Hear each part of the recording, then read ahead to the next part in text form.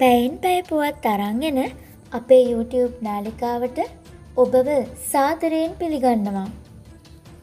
දුමින්දට ජනාධිපති සමාව ලබාදීම ඇමරිකාවේ දැඩි දෝෂ දර්ශනයට.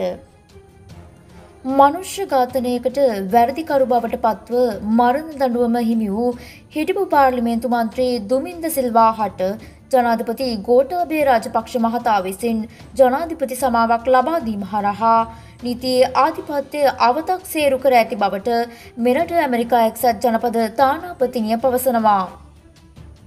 ශ්‍රේෂ්ඨාධිකරණය මගින්ද තහවුරු කෙරුණු මරණ දඬුවමක් හිමිව සිටි දුමින්ද සිල්වා නිදහස් කිරීම නීතියේ ආධිපත්‍ය නොතකා හැරීමක් බවයි ඇමරිකානු රාජ දෙපාර්තමේන්තුව පවසන්නේ.